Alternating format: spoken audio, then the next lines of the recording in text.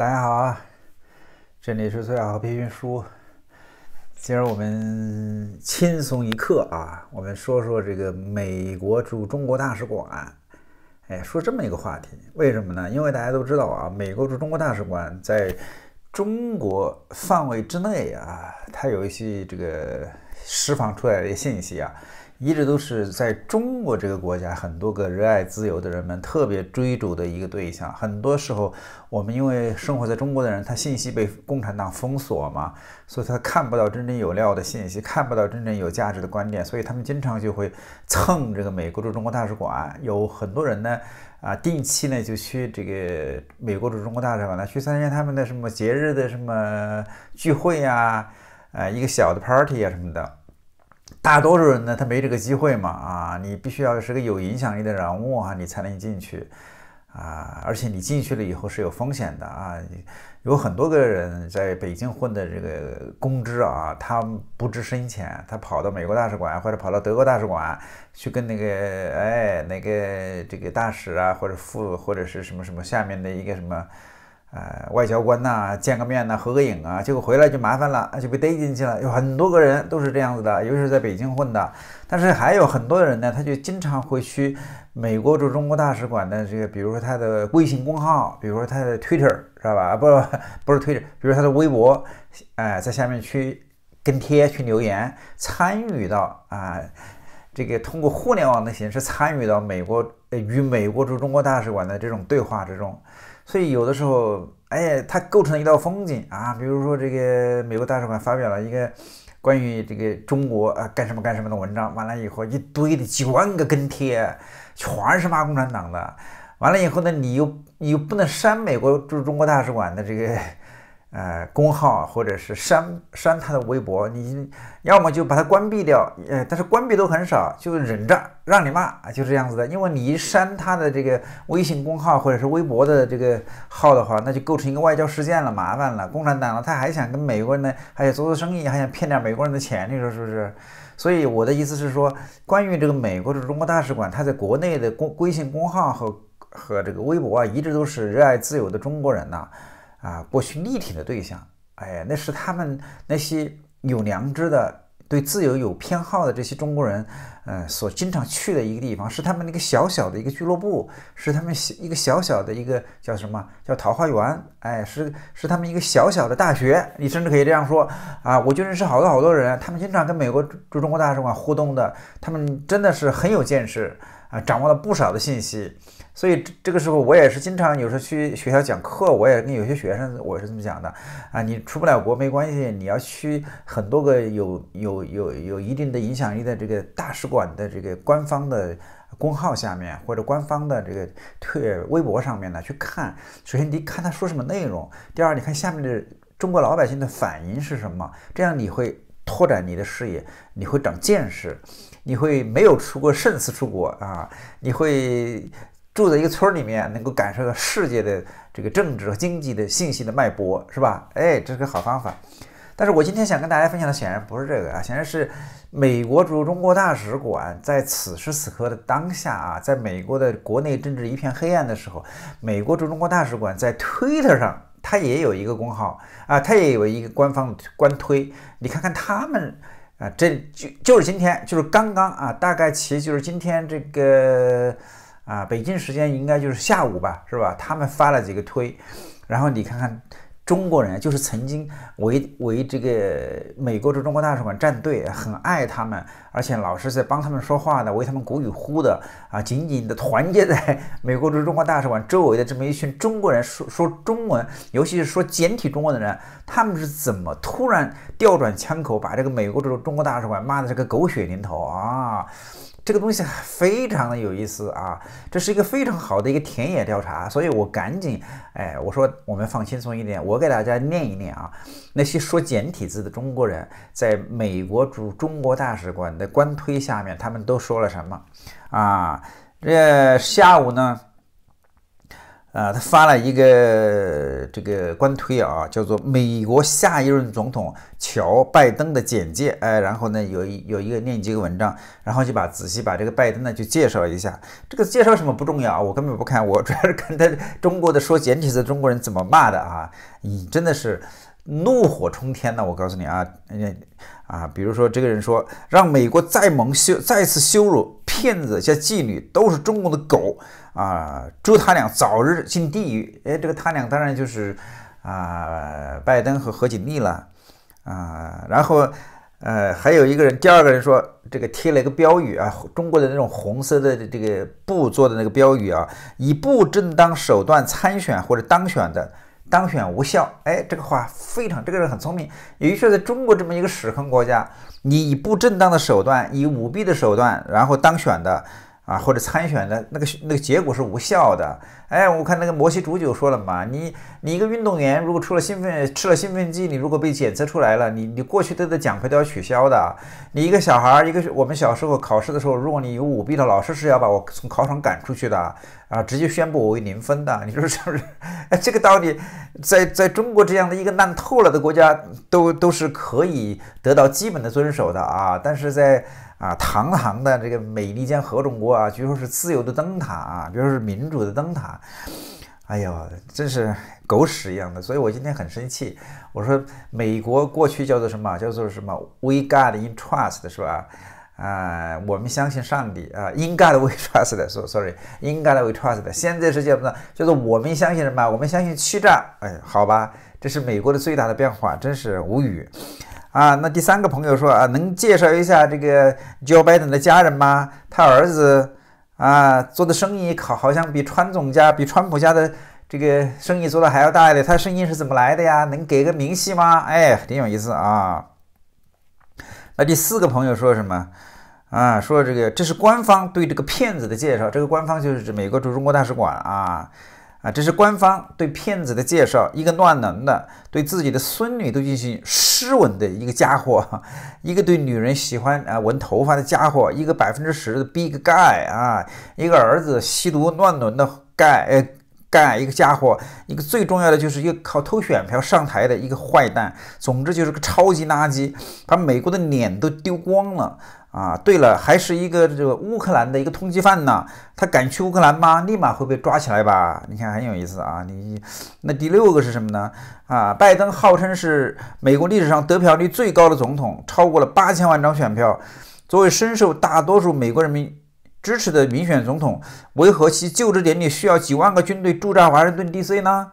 啊，还是说这八千万美国人民都是子虚乌有的呢？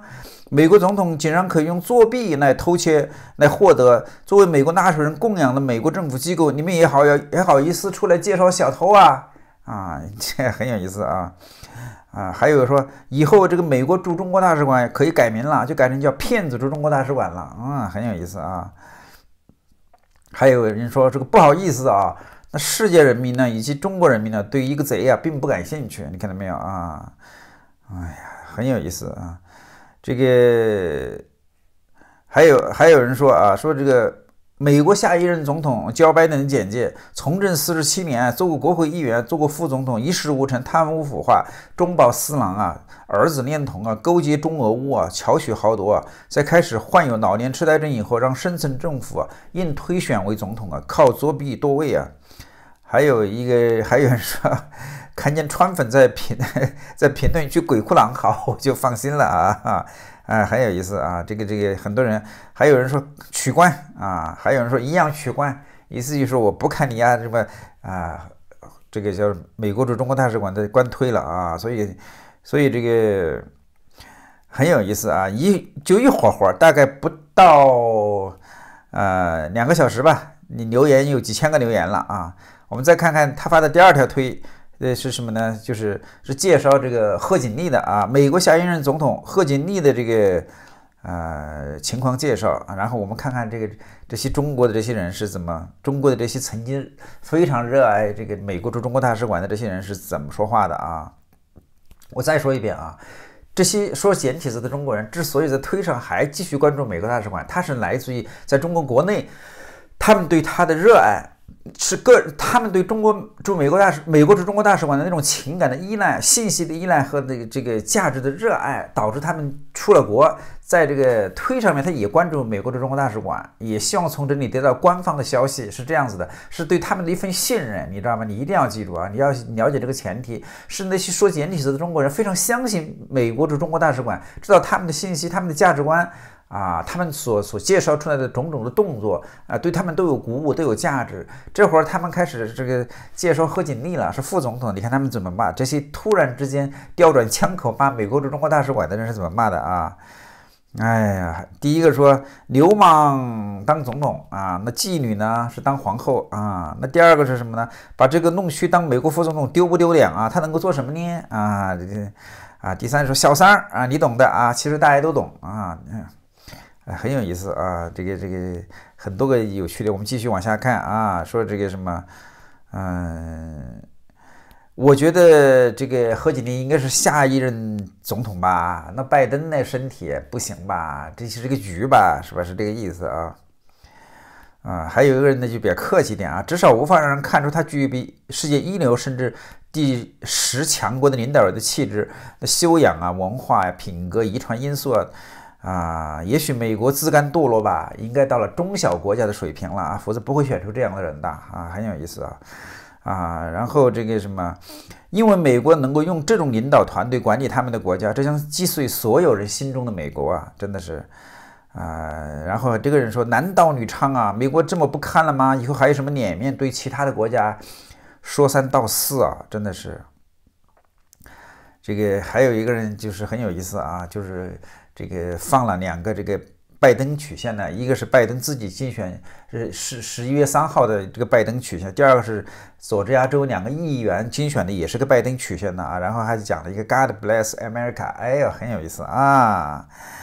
啊，然后这个很多中国式的句子嘛，我说了说简体字的啊。这个人就说啊，敬祝伟大的领袖、伟大的导师、伟大的统帅、伟大的舵手，我们心中最红最红的红太阳乔主席，万寿无疆，万寿无疆，万寿无疆。请祝乔主席的亲密战友，我们的贺副总统帅啊，身体健康啊，永远健康，永远健康啊，很很有意思啊。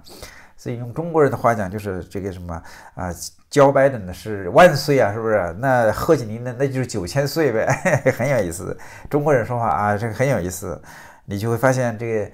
人的情感在最关键的时候，它是很真实的，真的是啊，这是个很有意思的。我说过的是一个很好的一个田野调查的一个一个案例啊啊，然后我就说，我来介绍一下何锦丽吧，一个靠和已婚师长培养好感情做到的州检察长，一个有着丰富感染力的笑声和美好的共产主义理想的，不知道要说他还是他还是他的人啊，不要随便称呼他，哟小心说错话了啊。然后这个下一个人说：“美国的至暗时刻来了吗？”啊，然后什么？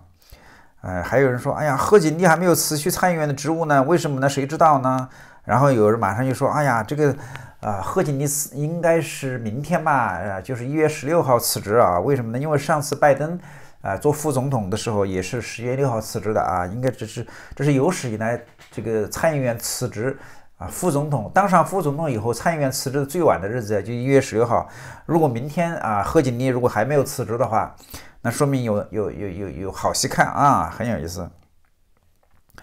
啊，还有一个人说话就更难听了啊，那是加州三藩市窑子出来的啊，一路睡上来的啊，劈腿劈过来的啊，欢迎光临啊，劈开双腿欢迎光临，很有意思啊，这个很有意思啊。这个还有人说下一任的副总统是蓬佩奥好吗？滚床滚床单的小三算个什么东西啊？啊，算算个叉叉叉呀？啊，还有人说是多米尼呀，投票季没有选举吧？啊，醒醒吧，美国，是吧？然后说还有说诸伟大领袖的亲密战友贺副统帅身体永远健康。嗯，还有人说他会笑死全世界的，美国的秘密武器啊，其他哪个国家首脑不听安排？就放他出来对准对方笑上三天三夜，笑到擒来啊！灯塔从此带笑亮啊！啊，还有人说贺书记先给党的投名状，不要不仅要走共产主义的道路啊，关键是要走共产之道啊！另外，请把这个副总统这个副字给去去啊！真正的总统是贺锦丽啊，而不是拜登啊！哎，所以很有意思啊！这个这真的是一个，其实可以可以做一个很好的一个一个一篇论文呢，真的。就是我们这些说简体字的中国人，为什么我们之前那么热爱啊美国驻中国大使馆？我们那么去依赖于它的信息，依赖于它的价值，依赖于它带给中国人民的一些啊很重要的一些工作，比如说我们。啊，以前呢是从来不知道这个雾霾的，是吧？嗯，不知道雾霾这个词，更不知道什么 PM 啊，PM 二点五这个词，那是中国，那是美国驻中国大使馆，是是是他们发明的这个说的这个词儿，我们才开始有了一个新词儿。你说年纪大一点的，你什么时候知道什么什么叫 PM 二点五啊？你从来也没有知道什么叫雾霾。那雾霾这个词是因为美国驻中国大使馆它使用了 PM 二点五这个词儿以后，然后呢，相应的中国的去找了一个词儿，把雾和霾。加起来就搞了一个雾霾。我在北京生活了二十多年，我们我第一次去北京，我是九十年代后期啊。完了以后，那个时候北京的空气就很差啊，而且呢，每年春天有雾霾，呃，不是有这个沙尘暴。啊，那个窗台上啊什么的，这么厚一层灰啊！你想想，空气能有多干净呢？都是都是很粗的颗粒漂浮在空气中啊，空气中很不舒服的。但是那个时候没有一个新词来描述这种现象，那多亏了是美国的中国大使馆，所以今天的中国后来有了 PM 二点五了嘛？那是美国人的贡献。你看，美国对中美国人，美国的中国大使馆对中国有多大的影响力？你从这么一件事情你就知道。就是我们这么一群人非常热爱这样这样的一个机构，结果瞬间呢，我们就调转枪口，把这个啊这个美国大使馆骂了一骂了一通，骂的是狗血淋头，而直接取关了。好多人至少有几百个人取关，说我再也不关注你们这帮垃圾了，让你们去嘚瑟去，知道吧？所以这就构成了一个现实啊，或者构成了一个趋势啊。那我基本上是是怎么说呢？如果说拜登呢这个人他真的上台了，没几天了啊。按照这个美国驻中国大使馆的这个官推的话，他是肯定会会会会当总统啊，贺锦丽肯定会肯定会当副总统，这就让人出离愤怒，是吧？因为你就是你就是明显的作弊啊，然后你成为了一个总统，谁都不谁都会搓火。我说过，这不是一个很复杂的问题啊，你只有那些臭公知、那些臭不要脸的货色，才动用了一堆的所谓的这个理论、那个理论来来解释这一现象。像我们这些没文化的人，我们就直接告诉他，你不需要跟我解释，一加一就是等于二，这个一个一个运。运动员，你吃兴奋剂，你去参加比赛就是不对啊！然后一个学一个学生，你考场上你你你你你你你舞弊就是不对，就这么简单啊！你跟我扯那幺蛾子干嘛？哪有天下哪有那么复杂的事情啊？是不是？所以我就讲呢，如果说这个事情最后真的是像美国的中国大使馆一样成为一个事实的话啊，那么我就我估计啊，接下来美国人呢将会成为这个世界上最不受欢迎的人，因为。既然你这个总统都是这么上来的，那你美国人每一个人都不值得信任。就是我们中国人为什么在全世界不被其他国家人喜欢，是因为中国政府在全世界形象太垃圾了。所以呢，人家判断你中国人是一群什么人，他他不了解你本人。哎，我你比如我这个人，我我这个人在国外生活的，我相当懂礼貌，我相当守规矩，我开车从来不闯红灯，我开车我开车永远都是零违规啊，我都是绝对是我在路上我都是特别乐乐意。乐乐于助人，我经常去啊，去去去帮别人，真的，我不是说我啊，我我是要要表现自己，因为我真的有这种想法。人家一看我是个中国人，我怕别人看我不起，那我就好好去做啊，我举止得体啊，谈吐文雅、礼貌、文明，知道吗？然后还是一个特别爱乐意助人的人，人家迟早啊，他会改变这一印象，知道吧？但是他为什么之前对我们就很不友好、很不客气，看不起我们、歧视我们呢？那是因为他们看不起共产党。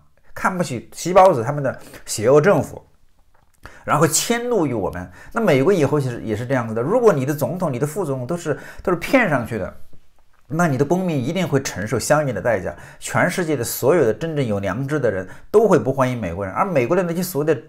这个什么超级大国的军队，以后在任何一个地方都会被人吐口水。我告诉你啊，真的是啊，所以曾经的这个什么人类自由的灯塔，将会变成人类屎坑的榜样啊！曾经的我们相信上帝，要变成我们相信欺诈啊！人类社会将因为美国。这个明显的作弊的事实，引来有史以来最大的全人类的伦理滑坡、道德滑坡。我告诉你，甚至是溃败啊！然后用圣经的话讲，就是国要攻打国，民要攻打民。我跟你说，今后几几十年，真的，美国最大的这个节奏、最大的现实，不是国攻打国，美国根本就没有时间再去攻打别人。我跟你说，美国一定陷入一个长久的民要攻打民的这么一个内战的状态，让我们拭目以待。